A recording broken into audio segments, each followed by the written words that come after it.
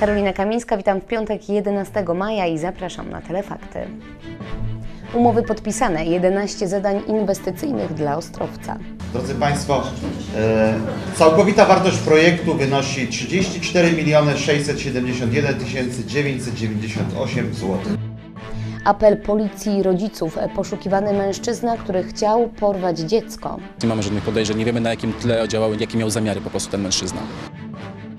Tydzień bibliotek trwa.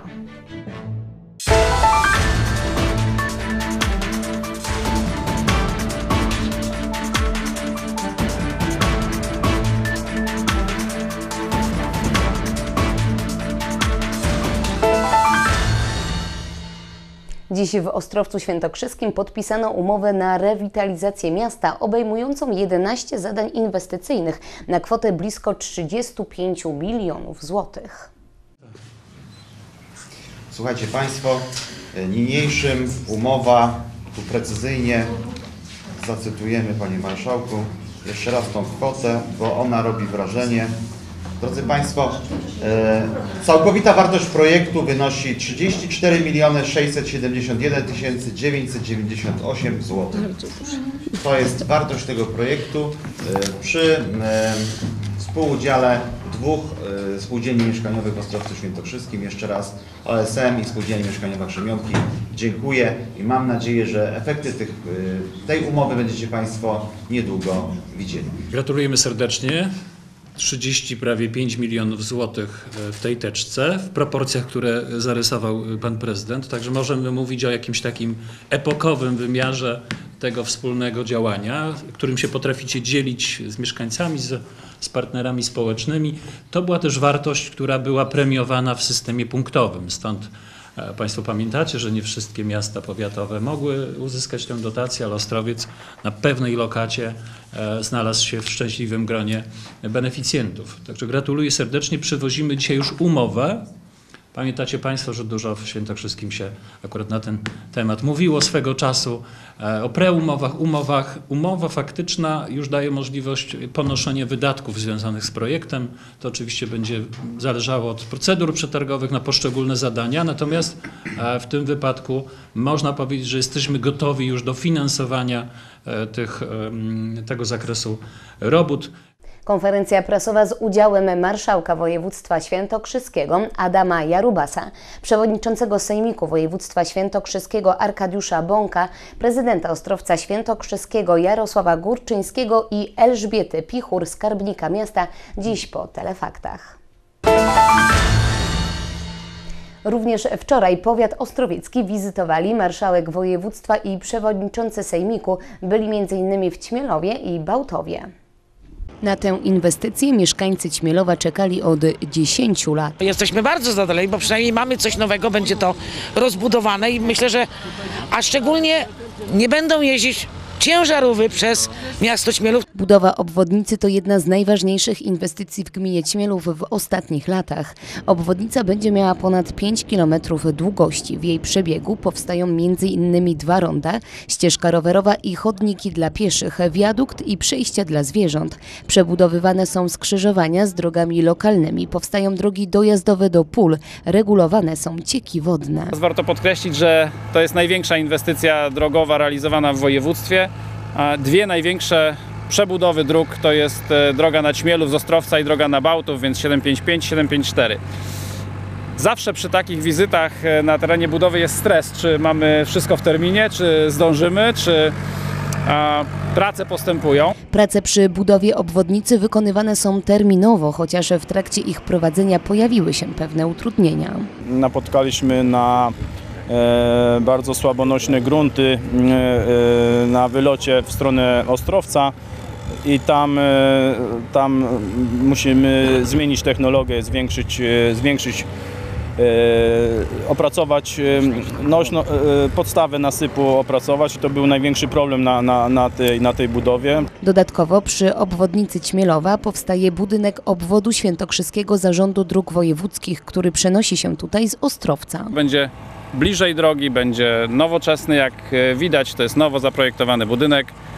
e, i będzie służył przede wszystkim tej drodze, ale nie tylko, e, całemu obwodowi e, dróg w Ostrowcu. Burmistrz Ćmielowa Jan Kuśmierz podkreśla, że za budową obwodnicy idą także gospodarcze korzyści dla mieszkańców. Obwodnica ma to do siebie, że z czasem, ja nie mówię, że natychmiast, ale powstaną na pewno firmy, tak jak w innych miastach czy miasteczkach, gdzie ta lokalizacja będzie. A jak będą firmy, to jest rozwój miasta i gminy, to są nowe miejsca pracy, to są e, nowe podatki. Marszałek województwa świętokrzyskiego Adam Jarubas podkreślił, że bez dobrej współpracy nie byłoby tak dużych inwestycji drogowych w powiecie ostrowieckim, a ich skala jest olbrzymia. Łączny koszt obwodnicy Ćmielowa i drogi do Bałtowa to 150 milionów złotych.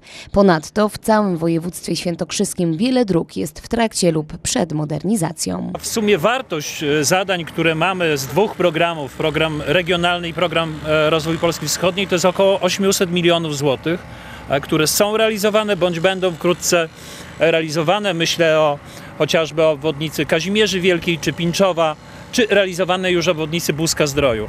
E, Bardzo nam e, zależało, żeby rozstrzygnąć przetargi jeszcze wtedy, kiedy ceny były bardziej dla inwestorów przyjazne, ale e, dzisiaj e, to co ważne, udało nam się zakontraktować e, większość już e, inwestycji. Do niektórych rzeczywiście musieliśmy w związku z tą sytuacją na rynku e, dołożyć środki własne województwa. Tak było chociażby w przypadku obwodnicy Włoszczowy, ale najważniejsze, że buduje się drogi. W końcu nowe nawierzchnie w dużym stopniu wpłyną na bezpieczeństwo. Termin zakończenia budowy obwodnicy planowany jest na listopad 2018 roku.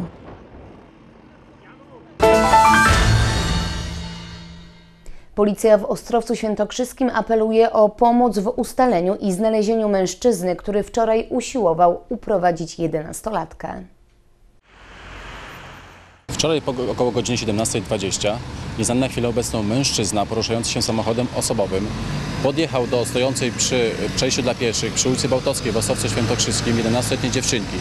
Wysiadł z auta, y, próbując zmusić ją do y, wejścia do samochodu, y, proponował, proponował, że ją podwiezie. Mężczyzna w wieku około 40 lat. Charakterystyczne było to, że posiadał fryzurę typu irokes, ubrany był w czarną koszulkę, spodnie typu moro, miał w uszach tak, tak zwane tunele oraz kolczyk na brwi typu ćwiek.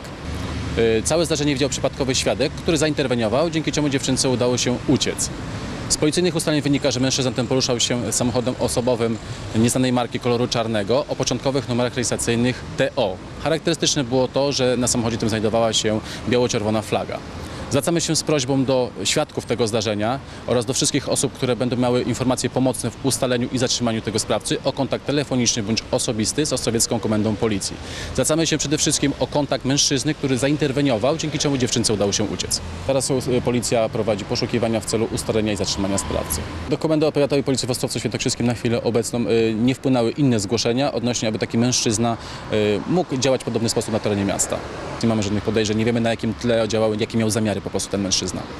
O pomoc w odnalezieniu mężczyzny prosi również ojciec dziewczynki, który w mediach społecznościowych wystosował apel za wytypowanie i znalezienie tego człowieka, wyznaczył nagrodę w wysokości 5 tysięcy złotych. Tym tygodniu w Ostrowcu Świętokrzyskim odbywało się wiele wydarzeń związanych z Dniem Godności Osób Niepełnosprawnych. Po piknikach zorganizowanych przez Przedszkole Promek i Stowarzyszenie Tacy Sami wczoraj świętowali uczniowie i przyjaciele zespołu szkół specjalnych. Wydarzenie wpisuje się w obchody 25-lecia placówki. Tegoroczne obchody Dnia Godności Osób z Niepełnosprawnością Intelektualną organizowane w Ostrowcu Świętokrzyskim przez Zespół Szkół Specjalnych miały wyjątkowy charakter. Połączone bowiem zostały z jubileuszem 25-lecia szkoły. Uroczystości rozpoczęły się już w środę w Galerii Fotografii Miejskiego Centrum Kultury, gdzie odbyła się wystawa i aukcja pracy Łukasza Pasternaka, już absolwenta zespołu szkół w Ostrowcu Świętokrzyskim. E, Kwota wyjściowa dla tego obrazu to jest 20 zł polskich. Dochód ze sprzedaży obrazów w całości przeznaczony zostanie na rozwój talentu artysty. Mam nadzieję, że Twoja twórczość e, wyjdzie spoza Ostrowca, trafi gdzieś e, na, do, do szerszego odbiorcy. Obchody jubileuszu szkoły i Dnia Godności Osób Niepełnosprawnych kolejnego dnia przeniosły się na plac domu parafialnego Michal, gdzie uczestnicy wydarzenia wspólnie barwnym korowodem przemaszerowali spod kolegiaty.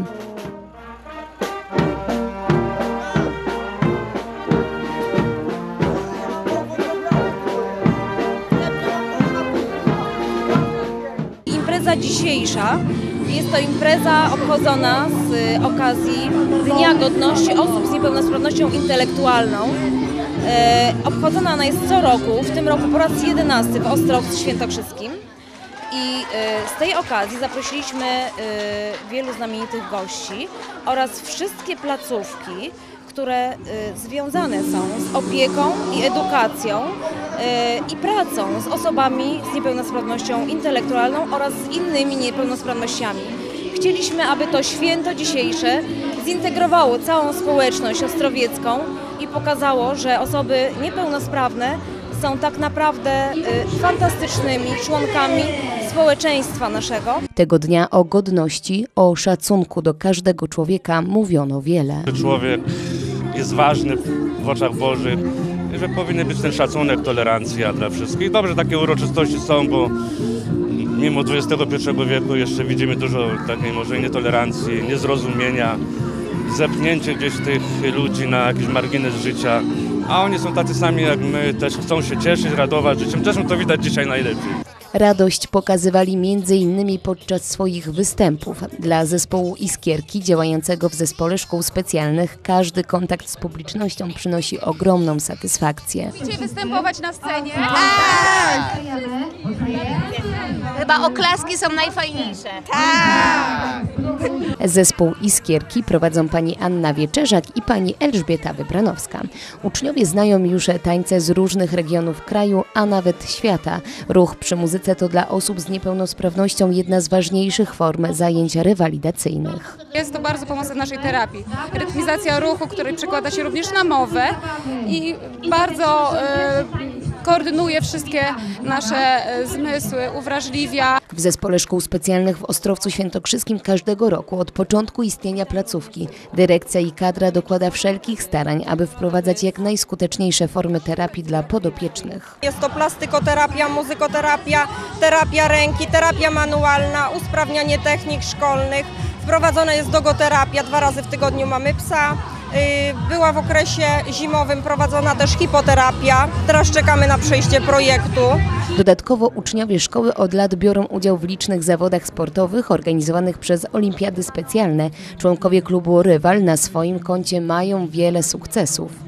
Placówka każdego roku rozwija się, a to w dużej mierze dzięki wsparciu lokalnych firm, osób prywatnych czy samorządów. Jestem przekonany, że e, władze powiatu będą dalej wspierać e, szkołę specjalną, że szkoła będzie istnieć, będzie e, kształcić dzieci z niepełnosprawnością intelektualną, że będzie również tym dzieciom organizować zabawę. Wszyscy bardzo mocno wspieramy dzieci, wszyscy staramy się wspierać również pedagogów z tej szkoły. Impreza na placu parafialnym Michal nie kończy obchodów 25-lecia placówki. W planach są kolejne wydarzenia, a najbliższe, czyli piknik rodzinny, odbędzie się 4 czerwca na Gutwinie. Brawo, brawo proszę Państwa. Tym Popularność audiobooków i gier komputerowych wyparła tradycyjne książki z życia młodzieży, dlatego każda forma propagowania czytelnictwa jest dobra. Dziś młodzież w bursie szkolnej spotkała się z Małgorzatą Wardą.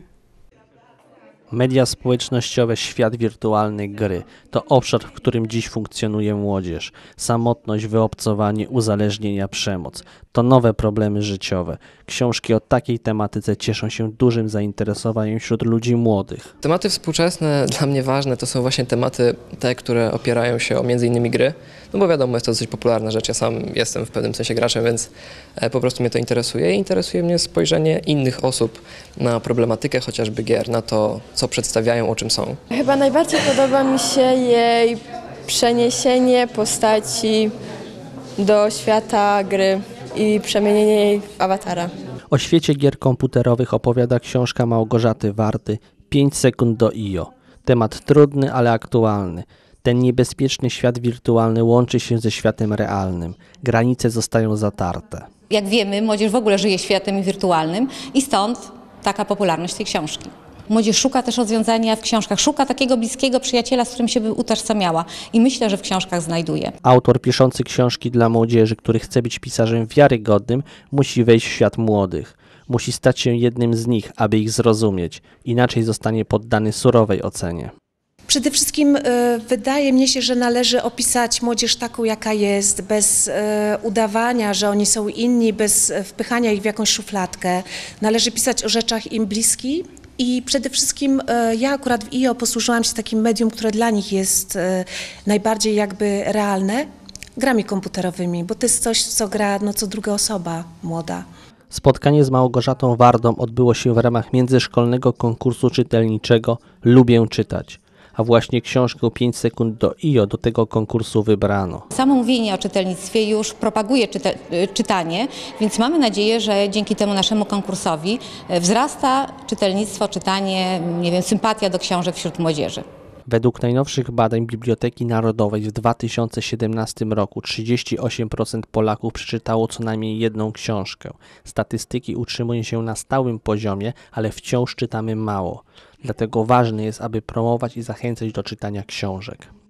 A skoro o czytelnictwie mowa, to zapraszamy już jutro o godzinie 17 do czytelni Głównej Miejskiej Biblioteki Publicznej, gdzie odbędzie się drugie spotkanie autorskie w ramach Tygodnia Bibliotek. Tym razem w Ostrowcu Świętokrzyskim gościć będzie jeden z najpopularniejszych pisarzy fantastycznych, Jacek Piekara. Dziś przez Ostrowiec Świętokrzyski przeszły gwałtowne burze, którym towarzyszył silny wiatr i grad. Synoptycy ostrzegają, że tego typu zjawiska mogą się powtarzać przez najbliższe dni. W Telefaktach to już wszystko. Ja dziękuję za uwagę, życzę spokojnego i miłego weekendu i do zobaczenia w poniedziałek.